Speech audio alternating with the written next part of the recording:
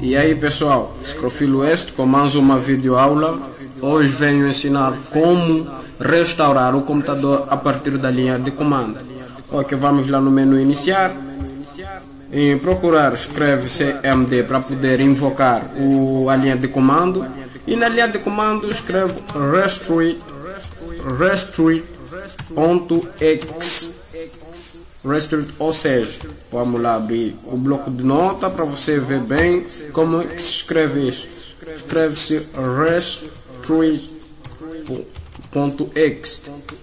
Vou selecionar ele para poder aumentar o tamanho e ver como se escreve.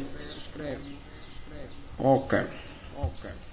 20, acho que é. Ok restrict.x é para invocar a, a aplicação uh, que restaurar o computador. Depois clicar em Enter, vai aparecer esta caixa de diálogo e clicar em Sim.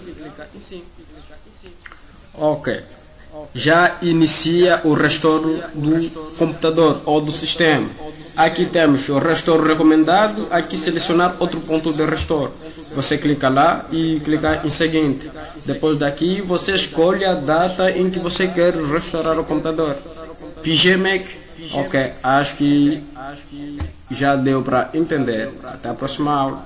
Tchau.